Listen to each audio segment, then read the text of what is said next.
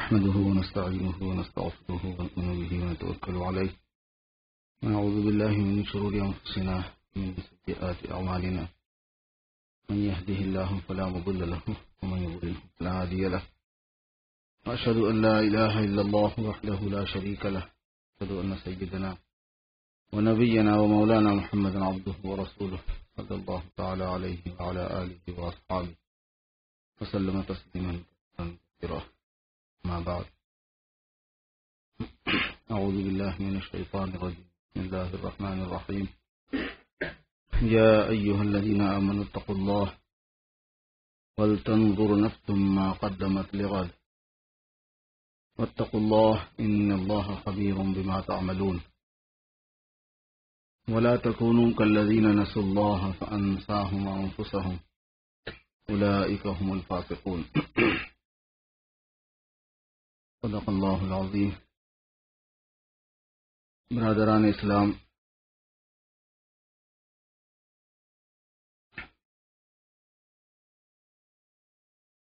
حق تعالی شانہ اور ان کے رسول حضرت محمد رسول اللہ صلی اللہ علیہ وسلم۔ یہ ہم لوگوں کے ساتھ ہم سے زیادہ شفیق ہے مہربان ہے ہمارے ساتھ، ہمارے بیوی بچوں کے ساتھ، ہمارے خاندان والوں کے ساتھ۔ ایسی بات نہیں ہے کہ یہ بڑے ہیں، اللہ رب العزت قدرت والے ہیں، طاقت والے ہیں، بادشاہوں کے بادشاہ ہیں۔ اس کی وجہ سے انہیں کوئی پرواہ نہیں ہے۔ تو ہماری شفقت سے ان کو کیا کام؟ ہماری مہربانی سے ان کو کیا کام؟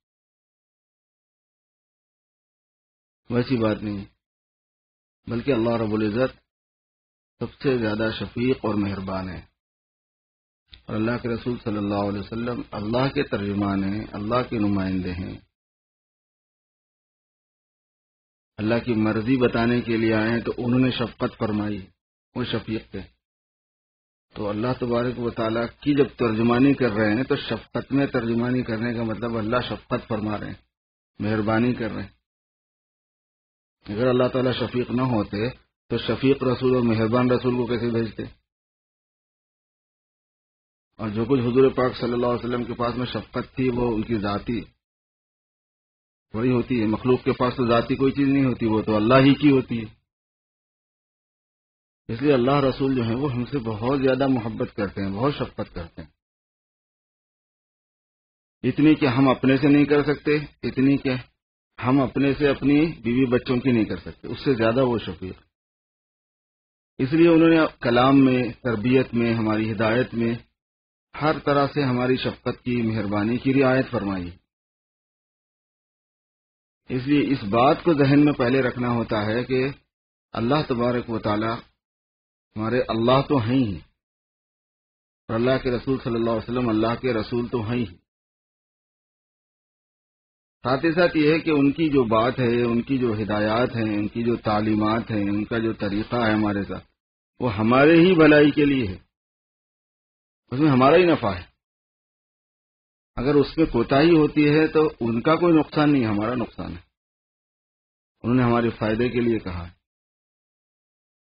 اسی لیے وہ ہماری بھلائی کی بھلائی کو سوچنے میں بتانے میں ہم سے بہت آگے اپنے بچوں کی بھلائی کو سوچنے میں، بتانے میں ہم سے بہت آگے۔ دونوں میں کوئی تقابل نہیں ہو سکتا۔ چنانچہ جو آیت میں نے آپ کے سامنے پڑھی ہے، اس میں ایک مضمون کو اللہ پاک بیان فرما رہے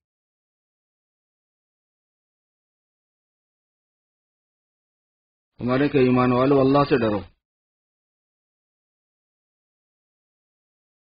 ڈرایا کیوں جاتا ہے؟ ڈرایا اس لیے جاتا ہے کہ ڈرے بغیر وہاں نقصان سے بچاؤ کی شکل نہیں ہے۔ وہ بھی شفقت کی وجہ سے ہی ہے۔ اگر نہیں ڈرے گا تو مصیبت میں جائے گا۔ کیونکہ وہاں پر صرف نعمت والا ہی پہلو نہیں۔ اللہ تعالیٰ ادھورے ہیں، ناقص ہیں، ویسا نہیں ہے۔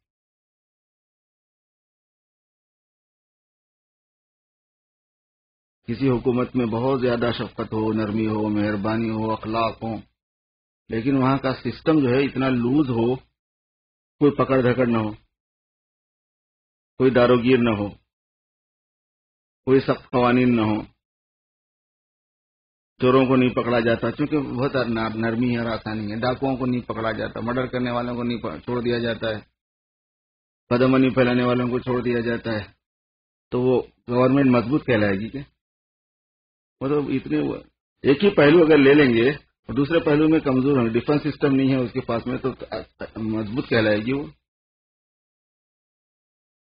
اللہ رب العزت کے بھی ایسے ہی معاملے ہیں کہ اگر مہربانی، رحمت، شفقت توڑ دینا، فضل کر، خالی یہی پہلو اگر ہو،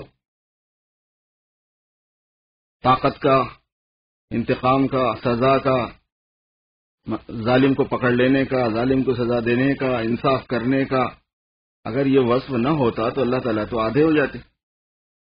نوز اللہ من ظالم ناقص ناقص تھوڑی اللہ رب العزت۔ شامل ہے۔ اس لیے ڈرنے والا مضمون سنایا جاتا ہے کہ کو ڈر کے رہنا ذرا۔ اتق اللہ اللہ سے ڈرو۔ ول تنظر نفسم قدمت لغد۔ پھر فرمایا کہ ہر آدمی کو اس کا دھیان رکھنا چاہیے۔ یہ ایک مراقبہ دیا گیا۔ ول تنظر منے دھیان میں رہنا۔ چلتے پھرتے، کام کاج میں، سب چیزوں میں یہ دھیان رہنا چاہیے۔ کیا دھیان رہے؟ ما قدمت لیغا دن کہ کل کے لیے اس نے کیا بھیجا ہے۔ کل جو ہے وہ مستقبل کے لیے آتا ہے فیوچر کے لیے آتا ہے، آنے والے وقت کے لیے۔ ہر آدمی کے پاس کا کل الگ ہوتا ہے۔ مگر ہم کو تو اللہ تعالیٰ کا کل دیکھنا ہے۔ آج نوکری ہے، کل کا کچھ پتا نہیں، بولتے نا۔ اس کل سے کون سا کل مراد ہے؟ چند دنوں کے بعد، چند ہفتوں کے بعد، چند مہینوں کے بعد۔ بچے سے آپ بولتے ہیں کہ میاں، پڑھ لو، کل کام آئے گا۔ یہ کل سے کون مراد ہے؟ تھوڑا اور وقت کے بعد میں کہ جب تم تھوڑے سے بڑے ہو جاؤ گے۔ جوان سے کہتے ہیں کہ میاں، کچھ کر لو، کل کام آئے گا۔ کل کل میں بہت فرق ہوتا ہے۔ کل آنے والے ٹائم کو کل کہتے ہیں۔ جیسے آپ ابھی ابھی آ کے بیٹھے ہوئے ہیں۔ اثر کا وقت بھی اس اعتبار سے دیکھا جائے، کل میں آئے گا۔ اور ہم بولتے نہیں کل۔ ہم کل جو ہے کل کی یعنی مغرب کے بعد کے وقت کے لیے بولتے ہیں۔ اثر تک نہیں بولتے، مغرب سے بولتے عام حساب کتاب میں، دھیان میں، توجہ میں، بچوں کے لیے کل الگ ہے۔ جاب کرنے والوں کے لیے کل الگ ہے، شادی نہیں ہونے والوں کے لیے کل الگ ہے۔ آج تم یہ کر رہے ہو، کل تمہاری شادی ہو جائے گی، تو کیا کرو گے بھائی؟ تو ایک مہینے کے بعد میں بھی ہوگی تو اس کا تو کل ایک مہینے میں آ گیا، پندرہ دن کے بعد شادی ہوگی تو اس کا تو کل پندرہ دن میں آ گیا۔ ایک ہفتے کے بعد ہو گئی تو بھی آ جائے گا اس کا کل۔ نوجوان لوگ، بیوی بچوں والے لوگ بولتے ہیں، ہمیں مجھے تو اس وقت تو چل رہا ہے کام، بس مجھے کل کی فکر ہے ریٹائرمنٹ کی فکر ہے۔ ایک ریٹائرمنٹ کا کل ہوتا ہے۔ جب جاب کرنے کے قابل نہیں ہوتا بندہ، اس کے لیے کل ہوتا ہے۔ ہم لوگوں نے اپنے حساب سے ایک رینج بنایا ہوا ہے، یہ ہمارا کل ہے، یہ کل ہے، کل کا ایک اعتبار یہ ہے، کل کا ایک اعتبار یہ ہے۔ ایک حیثیت سے یہ کل ہے۔ ہمارا جیسا علم ہے، ہم نے ویسا اپنا کل بنایا ہے۔ اور جیسے ہمارے حالات ہوتے ہیں، ویسے ہم کل بولتے ہیں۔ اختالیہ شانوں کے پاس جو ہماری دنیا کی لائف ہے، زندگی ہے، یہ پوری کی پوری آج ہے۔ اور جب آدمی انتقال کر جاتا ہے تو وہاں سے اس کا کل شروع ہوتا ہے۔ کیوں؟ اس وجہ سے کہ اللہ تبارک و تعالیٰ کے یہاں یہ ٹائم جو ہمیں دیا گیا ہے عمر کا، اگر پورے بیاج کا مجموعی بھی شمار کریں آپ یعنی سو سال لے لیں، کوئی حساب میں نہیں ہے اللہ کے پاس وٹا کوئی حساب میں نہیں ہے وٹا ذرہ بے مقدار۔ ایک ایسا چھوٹا ذرہ جس کو جس کو آسانی سے آپ دیکھ بھی نہ سکیں، وہ چیز ہے اللہ کے پاس۔ ان کے یہاں جو ٹائم ہے اس کے حساب سے، ان کے یہاں جو سیٹ اپ ہے اس کے حساب سے۔ انہوں نے جو زندگی کی ترتیب بنائی ہے انسانوں کی، اس کے حساب سے۔ وہ بالکل پوری ہماری زندگی، چھوٹا سا ٹائم ہے وہ، جس میں ہمیں یہاں رکھا گیا ہے۔ تو اس لیے اللہ نے فرمایا کہ تق اللہ ولطنز نفس مقدمت غد دیکھو، ہر آدمی کو اس کا دھیان رکھنا چاہیے کہ اس نے کل کے لیے کیا کیا ہے۔ ان کی شفقت ہے یہ، ان کی مہربانی ہے کہ ایک آدمی کا دھیان اس کا رہے کہ میں کیا کر رہا ہوں۔ نماز پڑھ رہا ہوں کیا نہیں پڑھ رہا ہوں؟ نماز میں پابندی ہو رہی کیا نہیں ہو رہی؟ سستی تو نہیں ہو جا رہی۔ میں کما رہا ہوں۔ کل کا اس پر کیا اثر ہے؟ میں کھا رہا ہوں، کل کا اس پر کیا اثر ہے؟ میں بچوں کو پڑھا رہا ہوں، کل کا اس پہ کیا اثر ہے؟ خوشی میں، غم میں، خوشیاں منا رہا ہوں، فنکشن کر رہا ہوں، تفریحات کر رہا ہوں، پکنک منا رہا ہوں، کل کا اس پر کیا اثر ہے؟ جو اللہ نے مجھے مال دیا ہے، میں نے کل کے لیے کیا کیا ہے اس میں سے؟ جب تک آدمی تفصیلی جائزہ نہیں لیتا، اس کو اندازہ نہیں ہوتا۔ آدمی کی طبیعت کی کمزوری یہ ہے کہ اس کو بہت سی چیزیں سرسری طور پر جو اس کی طرف طبیعت مائل نہیں ہوتی نا تھوڑی کرے تو بھی بہت دکھتی ہے۔ آپ تصویر بھی مت پڑھیے، ویسے اللہ اللہ اللہ اللہ اللہ کیجیے۔ تو پچاس ساٹھ کے بعد میں آپ کو لگے گا میں نے بہت پڑھ لیا ہے۔ اگر تصویر لے کے آپ پڑھے تو پتا چلے کہ میں ابھی تو ایک تصویر بھی پوری نہیں ہوئی۔ اور آپ ہزار کے سوچ رہے تھے۔ اگر یہ سوچے کہ میں اللہ اللہ ایک ہزار مرتبہ بولوں اور تصویر لے کے نہ پڑھیں، آپ آپ سمجھ لیں گے۔ دو تین منٹ کے بعد آپ بولیں گے، ہزار تو ہو گئے ہوں گے۔ مزاج ہے یہ۔ میں نے بہت کر لیا۔ اس کو دس ڈالر دے دیا، اس کو بیس ڈالر دے دیا، اس کو پچاس دے دیا، اس کو سو دے دیا، رمضان میں تھوڑی سی زکات دے دی۔ فنکشن وغیرہ میں کوئی تھوڑے سستے کر دیا میں نے بہت کیا، میں کرتا رہتا بھائی، یہ تو حساب کر بندے کہ تیرے کو جنوری سے جنوری تک پیسے ملے کتنے؟ پہلے یہ دیکھ۔ پہلے تھوڑا حساب یہ کر کے تجھے پورے سال میں پیسے ملے کتنے؟ پھر اس کے بعد میں تھوڑا سا اینالائز کروں۔ مکان کے رینٹ میں اتنے گئے۔ ارے میں نے بارہ ہزار دے دیے۔ اب سوچتا ہے ارے میں نے سال میں بارہ ہزار دے دی جب اس کو پتا چلے گا کہ تو بارہ ہزار تو خالی رہنے کے لیے دیا۔ پھر اس کے بعد کھانے میں، پینے میں، دوا دارو میں اگر نہیں ہے انشورنس یا ہے بھی تو یا پھر اس کے بعد دوسری چیزوں میں اس میں اس میں اس کے بعد دیکھو کہ میں نے اللہ کے لیے کیا دیا تب آپ کو کچھ پتا چلے گا کہ کیا دیا ہے۔ خود اپنے آپ پہ شرم آنے لگے گی۔ تھوکے گا آدمی اپنے اوپر۔ یہ ہوتا ہے، یہ میں نے اللہ کے لیے کیا یہ ہے ولطن نفس کل کے لیے کیا ہوا ہے؟ تھوڑا آدمی کو ڈیٹیل میں جانا پڑتا ہے۔ اوقات کے اعتبار سے، قرآن پاک کی تلاوت کے اعتبار سے ویسے تو لگتا ہے کہ میں پڑھتا رہتا ہوں۔ قرآن شریف کا کیا معاملہ میں پڑھتا رہتا ہوں۔ کبھی پڑھ لیا، کبھی زیادہ پڑھ لیا، کبھی کم پڑھ لیا۔ بھائی ذرا حساب تو کر کے دیکھ کے بندے خدا کی کتنا پڑھا۔ سال میں دو قرآن پاک ہوئے نہیں ہوئے، یہ تو دیکھو۔ کیونکہ امام ابو نیفا کی فقہ کے ہم لوگ فالوور ہیں ان کی تحقیق پہ بھروسہ کرتے ہیں۔ انہوں نے کہا کہ سال میں اگر دو مرتبہ ختم نہیں ہوا تو گناہ ہوتا ہے۔ دو مرتبہ قرآن پاک کا حق ہے۔ قرآن پاک کو مکمل کرنا ذکر کے بارے میں تلاوت کے بارے میں درو شریف کیوں ہے میں چلتے پھرتے درو شریف بہت پڑھتا ہے کتنا پڑھتا ہے بہت سے کیا مراد ہے تیری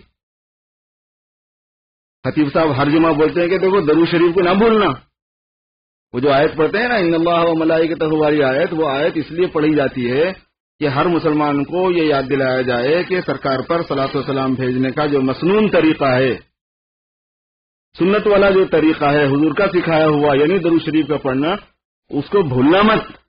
اس میں کوتا ہی نہ ہونے پائے۔ نہیں، میں پڑھتا رہتا ہوں، چلتے پھر آخر کتنے پڑھتا ہوتا اصل میں یہ ہے کہ نفس بہکا دیتا ہے۔ ایک ایسا تسلی دے دیتا کہ نہیں، وہ ہو گیا، وہ بہت سارا کام، کچھ پڑھے۔ اسی اسی لیے پہلے کے بزرگان دن تصویر کو بتاتے تھے۔ تصویر پڑھو۔ ایک تصویر ضرور کی پڑھو۔ سودانوں کی تصویر بنا کے۔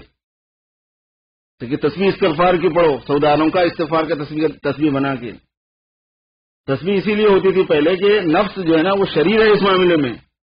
جب پہلے کے لوگ اپنا سمجھتے تھے کہ ان کا نفس شریر ہے تو ہمارا تو بڑا شریف ہوگا۔ اس کے تو کہنے کے جواب نہیں ہے اس کا۔ اسی لیے تصویر تصویر اسی لیے تصویر کا نام مذکرہ ہے۔ اصل نام اس کا یاد دلانے والی ہے۔ شرماتی ہم کو تصویر پکڑنے میں۔ اس میں کوئی شرم ورم کی بات نہیں۔ صحیح اندازہ ہوتا ہے اس سے کہ کیا ہوا، کیا نہیں ہوا۔ اور یاد دہانی بھی ہو جاتی ہے۔ تو ذکر میں، تسبیح میں، استغفار میں، تلاوت میں، خیر خیرات میں، نوافل میں، اعمال میں، سبھی چیزوں میں دھیان رکھنا ہے کہ بھئی کیا ہو رہا ہے۔ اور جو اعمال ہم عادت کے طور پر کر رہے ہیں، ان عادت والے کاموں میں بھی دھیان کہ کل کا اس پر کیا نتیجہ ہے؟ بچے کو میں نے اسکول میں ڈال دیا۔ کل کے بارے میں سوچا آپ نے کہ کیا، یہ جو ٹائم ہے جب آخرت میں یہ ٹائم نکالا جائے گا ایسی چیز، تو کس میں شمار کریں گے اللہ پاک اس کا کیا جواب ہے میرے پاس؟ مجھ سے پوچھا جائے گا کہ کیا حساب سے تم نے بچے کو جو ہے نا اتنے سال کے لیے اس میں رکھا تھا؟ بھائی حساب دو اس کا۔ اس کا اگلا پچھلا بتاؤ، اس کی نیت بتاؤ انٹینشن بتاؤ کیا تھا۔ جس جگہ تم ڈال رہے تھے، اس کا کتنا جائزہ لیا تھا وہ بتاؤ۔ کہ یہاں میں اس کو لے آ کے رکھوں گا، تو یہ کون سا جو ہے نا سانچا ہے، جس میں یہ میٹریل تیار ہوگا؟ کون سی فیکٹری میں میں نے یہ میٹریل چھوڑا ہے تاکہ وہاں کی وہاں کے پروڈکٹ کے اعتبار سے یہ چیز ڈھل کے نکلے، تو اس کا تم نے کچھ جائزہ لیا؟ بچہ تو خام میٹیریل ہے، کچا مال ہے، جسے پلاسٹک کے دانے ہوتے ہیں۔ برتن بنانے سے پہلے، سامان بنانے سے اس کو آپ نے ایک فیکٹری میں ڈالا۔ نرسری میں بھیجا پری اسکول میں بھیجا فرسٹ میں سیکنڈ میں تھرڈ میں، کہیں بھی بھیجا۔ ایک آپ کا سیٹ اپ ہے کہ میں نے اس کو یہاں چھوڑا ہے۔ تو اس کا تو حساب دینا پڑے گا۔ ایک دم اتنا لمبا پیریڈ بچے کا، چھ، آٹھ سال کا، دس سال کا، آپ نے پلان کر کے اس کو چھوڑا ہے، آپ سمجھتے ہیں چھوڑ دیے جاؤ گے؟ اگر آپ نے یہ سمجھا ہے تو آپ نے بہت بھول کی میں سمجھتا ہوں کہ چھوڑ دیا جاؤں، اگر میں سمجھتا ہوں تو میں نے بہت بھول کی پورے آٹھ سال کا حساب دیے تک آگے بڑھ نہیں سکو گے بچوں کے، بچیوں کے۔ کہ بھائی پہلے اس سے نمٹو تم یہ اپنا کیس صحیح کرو اپنا۔ بل تنظر نفسم ماقدمت لغت۔ بچہ ہو، بچی ہو، خوشیاں ہیں۔ بچے پیسے مانگتے ہیں، پکنک کو چلنے کو بولتے ہیں، تفریح کرانے کو بولتے ہیں۔ فلاں ٹکٹ سیل پہ آیا ہوا ہے، فلاں ٹکٹ لے لو، یہ سیزن ٹکٹ ہے، وہ فلاں ٹکٹ ہے۔ چلتے ہیں۔ وہ فیلڈ کو، یہ فیلڈ کو بڑے پچاس ہزار فیلڈ بنے ہوئے ہیں۔ اب ہم نے سوچا کہ بچے ہیں، تفریح کرانا ہے، چلو لے کے چلتے ہیں۔ اب ہر قسم کی بے ہوگی خرافات، جو بچے کر رہے ہیں۔ ایک تو یہ ہے کہ تفریح ہے تو تفریح ہونی چاہیے، ذرا بچوں کو فری ہونا چاہیے، یہ نہیں کہ جگہ جگہ مت مت پھر وہ بچے کی تو تفریح رہے گی نہیں، یقیناً۔ تفریح کا تو ایک موڈ ہوتا ہے، داروگیر نہیں ہوتی اس میں۔ لیکن سیٹ اپ بھی ایسا چاہیے کہ جہاں پہ داروگیر بھی نہ ہو، پنچایت بھی نہ ہو۔ کھانے پینے کی سہولت ہو، بھاگنے گھومنے کی سہولت ہو، بچے انجوائے بھی کریں، صحیح ہے سب مگر جائز ناجائز کا تو فرق آپ کو پہلے سے کر لینا ہے، وہاں جا کے تھوڑی جائز ناجائز کا فرق کرتے بیٹھو گے، مٹی خاک تفریح ملے گی وہاں تو۔ تفریح نہیں آئے گی پھر وہاں۔ ہر چیز میں میرے بھائیوں ولسند نفسم ما قدمت۔ لغا دن کل کے لیے کیا جا رہا ہے آگے؟ کیونکہ جو کوئی کیا جا رہا ہے، وہ جا رہا ہے آگے۔ وطق اللہ اللہ سے ڈرو ان اللہ خبیر بما تعملون۔ بے شک اللہ تبارک و تعالی خبر رکھتے ہیں، خبردار ہیں ان تمام باتوں سے، کاموں سے جن کو تم کرتے ہو۔ اندھیروں میں، اجالوں میں، خلوتوں میں، جلوتوں میں، جان میں، مال میں، آل میں، اولاد میں۔ ان اللہ خبیر بما تعملون۔ بے شک اللہ تبارک و تعالی خبردار ہیں، خبر رکھنے والے ہیں، واقف ہیں ان تمام کاموں سے جن کو تم کرتے ہو۔ ملا تکون کلین نس اللہ فانساهم انفسهم اور ان لوگوں کی طرح سے مت ہو جاؤ جنہوں نے اللہ کو بھلا دیا ہے۔ بھول گئے اللہ کو۔ انسانوں میں دو ہوتے ہیں، کچھ اللہ کو بھول گئے، کچھ نہیں بھولے۔ ولا تکون کلین نس اللہ میں ایک بزرگ نے بڑی اچھی تفسیر یعنی عجیب تعبیر، عجیب عجیب بات فرمائی۔ سارے بزرگ اچھے ہوتے ہیں، سب مفسر تفسیر میں بہت لاجواب نکات نکالتے ہیں۔ فرمایا کہ یہ اللہ تبارک و تعالیٰ کی ایمان والوں کے ساتھ میں غایت تعلق کی بات ہے کہ یہ فرمایا، ولا تکون من الدین نس اللہ ان لوگوں میں سے مت بننا جو بھول گئے اللہ کو۔ کیونکہ ایمان والا ایسا نہیں ہو سکتا۔ یہ فرمایا، ان لوگوں کے مشابے نہیں ہونا، ان لوگوں کی طرح نہیں ہونا جو بھول گئے اللہ تم بالکل بھول جاؤ گے، یہ تو تم سے توقع نہیں ہے۔ تم ایسا نہیں کرو گے، تم تو اپنے ہو۔ مگر جو بھولے ہوئے ہیں نا، ان بھولے ہوئے کی طرح مت بننا تم۔ کیونکہ اللہ تبارک و تعالیٰ کو مشابہت، اللہ اس کے، اللہ کا اس کا، اس کے پاس اس کا اللہ رب العزت کے پاس بڑا حساب ہے۔ بہت کاؤنٹنگ ہے اس کی۔ میچنگ کیا ہے؟ مشابہت کیا ہے؟ دنیا میں خالی مشابہت اختیار کرنے والوں کو کیسے کیسے ایوارڈ مل جاتے ہیں؟ مشابہت پر پروگرام ہوتے ہیں، مشابہت پر ایوارڈ ملتے ہیں۔ اس کی نقل اتار رہے ہیں، اس کی نقل اتار رہے ہیں، اس کا ڈانس کر رہے ہیں، اس کا ڈانس کر رہے ہیں، اس کے لباس پہن رہے ہیں، اس کے لباس پہنے ہیں، اس کے ڈائلگ بول رہے ہیں، اس کے ڈائلگ بول مشابہت ہی تو ہے ساری۔ کلچر جو ہے نا، مشابہت کا ہی نام ہے اصل تو اللہ والوں کے ساتھ ہے، پیغمبروں کے ساتھ ہے، پیغمبروں کے عاشقوں کے ساتھ ہے، اللہ اولیاء اللہ کے ساتھ ہے۔ اس کی مشابہت کس کے ساتھ ہے؟ یا کافروں کے ساتھ، فاسقوں کے ساتھ، خدا کے دشمنوں کے ساتھ، خدا کے خدا کے رسول کے دشمنوں کے ساتھ، خدا کے ماننے والوں کے دشمنوں کے ساتھ؟ اپنوں کے ساتھ پڑھائیوں کے کس کے ساتھ مشابہت ہے؟ مقبوب علیہم کے ساتھ، والدین کے ساتھ کس کے ساتھ مشابہت ہے؟ اس کا بڑا اثر بڑا اعتبار ہے اللہ کے پاس۔ تو یہ نہ صرف یہ کہ ظاہر میں ہے، باطن میں بھی ہے۔ عمل کے اعتبار سے بھی ہے وہ۔ ملا تکون کلینہ میں ساری چیزیں ہیں۔ دیکھو، تم ان لوگوں کی طرح سے مت ہونا جو بھول گئے اللہ کو۔ کیونکہ جو بھول گئے فانسا ہوں منفسا ہوں تو اس کا انجام یہ ہوا کہ اللہ پاک نے ان کو خود ان کے جانوں کو بھلا دیا کہ کیا ہے۔ ان کی زندگی کا انجام کیا ہے؟ ان کو کیا کرنا ہے؟ کیا نہیں کرنا ہے؟ کیا اچھا ہے، کیا برا ہے؟ یہ فیلنگ ختم ہو گئی۔ بس کر رہے چلے جانا ہے۔ کیے چلے جانا ہے۔ جو سمجھ میں آیا وہ کرنا ہے۔ جس میں مزہ آیا وہ کرنا ہے۔ فانسا ہوں منفوس ہوں بلائی کا ہوں الفاسقون، وہ فاسق ہیں۔ حد سے گزرنے والے ہیں۔ اللہ کی پکڑ میں آنے والے ہیں۔ ان لوگوں کی طرح سے آپ نہیں ہونا۔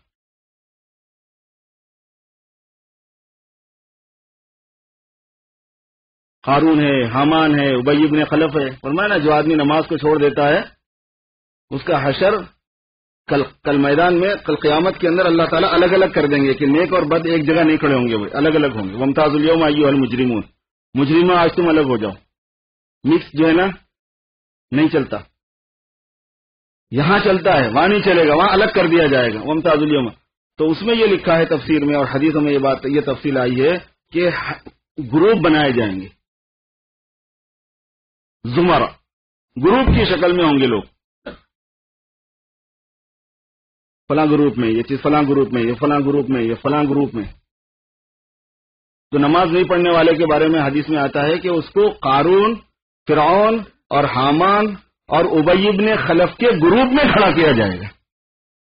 وہ تو کہاں حضور نبی پاک صلی اللہ علیہ وسلم کے گروپ میں آنے کے چکر میں بھائی؟ تو کہاں اولیاء اللہ کے گروپ کے عام گروپ میں آنے کے چکر میں ہے۔ تو کہاں پرانے پیر کے گروپ میں آنے کے چکر میں ہے۔ تو کہاں اجمیری رحمت اللہ علیہ کے گروپ میں آنے کے چکر تو ادھر کدھر ٹھہرا ہے ادھر ادھر آنے کا نہیں ہے، ادھر جاؤ۔ وہاں کیا کر لیں گے بھائی؟ وہاں گروپ ہے۔ نماز چھوڑنے والے کا انجام، حدیث میں آتا، حدیث شریف میں آتا، جس کا مفہوم یہ ہے کہ نماز نہیں پڑھنے والے کو فرعون اور حامان اور ابیب نے خلف کے ساتھ اس کا حشر ہوگا، اس گروپ میں کھڑا کیا جائے گا۔ بعد میں ایمان کا جائزہ لے کے جتنی سزا دینا ہے دے کے بالکل قارون اور حامن اور فرون کی طرح انجام نہ ہو، لیکن اس کے ساتھ وہاں کھڑے ہونا خود کیا کم انجام ہے پچاس ہزار سال کے واسطے؟ اتنا اتنی مشابات کا اثر ہے۔ اور وجہ اس کی علماء نے بتائی کہ فرعون بادشاہت کی وجہ سے اور حکومت کے کام کی وجہ سے نہیں، اللہ کا باغی تھا، حامان وزارت کی وجہ سے تھا۔ اور ابیب نے خلف تجارت کی وجہ سے تھا۔ اور یہ تین چیزوں میں سے کوئی چیز ہوتی ہے جو آدمی کو نماز سے غافل کرتی ہے۔ اسے فرما ولا تکون کلین نس اللہ تو اس بات کا دھیان ہے کہ ہم ان لوگوں کی طرح سے نہیں ہونا ہے جو اللہ کو بھول گئے۔ تو اللہ کو یاد رکھنا ہے۔ دھیان رکھنا ہے اللہ پاک۔ اور یہ ہے کہ اللہ سے ملاقات ہونی ہے۔ کل کیا ہوگا؟ کل کی کامیابی کیا ہے؟ اور کل وہ اللہ والا کل۔ اللہ میاں کے یہاں، اللہ رب العزت کے یہاں جو کل کہا گیا ہے۔ وہ پوری دنیا کے ٹائم کو آج ہی کہتے ہیں۔ ہماری پوری اس دنیا کی لائف کو آج بولتے ہیں اللہ تعالی۔ اور جب اس دنیا سے ہمارا ٹائم ختم ہوتا ہے تو اللہ رب العزت کے حساب سے کل شروع ہوتا ہے۔ ہمارا کل، ان کا کل نہیں، ہمارا کل ان کے یہاں، ہمارے مرنے کے بعد سے شروع ہوتا ہے۔ کیونکہ وہ شفیق ہیں، ان کو زیادہ معلوم ہے، حقیقت کا علم ان کو زیادہ ہے۔ آخرت کا سیٹ اپ انہوں نے بنایا ہے، انہی کے کنٹرول میں ہے وہی قادر ہیں۔ وہ جو بولیں گے اس کا اعتبار ہے۔ تو ایک بات میں نے یہ عرض کی کہ شفقت کے معاملے میں ہمیشہ اللہ رسول پہ دھیان رکھنا کہ وہ ہم سے زیادہ شفیق و مہربان، رحم کرنے والے۔ دوسری بات یہ ہے کہ انہوں نے جو بات فرمائی، ان کی بات کا اعتبار ہے ہماری فہم کا نہیں ہے، ہمارے کانسپٹ کا نہیں ہے۔ بچوں کے بارے میں، شادی کے بارے میں، نوکری کے بارے میں ریٹائرمنٹ کے بارے میں ہمارے یہاں کل کل الگ الگ ہے۔ وہ ہے، ٹھیک ہے، اپنا کل ہے یہ، لیکن ان کا کل نہیں ہوتا یہ۔ اور چوتھی بات یہ، تیسری بات یہ کہ دھیان رکھنا ہے۔ دھیان ہو اس بات کا کہ بھائی یہ چیز اصل ہے۔ اس کے لیے تیاری کرنی ہے۔ اب تعالیٰ شانو مجھے اور آپ کو سب کو عمل کی توفیق عطا فرمائے۔ سنتیں پڑھ لیجیے